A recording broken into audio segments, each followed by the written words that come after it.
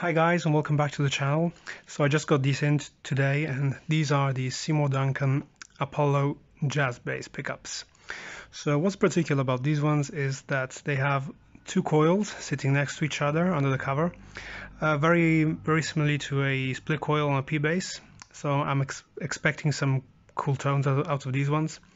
So we're going to compare these ones to the stock pickups on my Geddy Lee jazz bass, which are a traditional um, single coil pickup.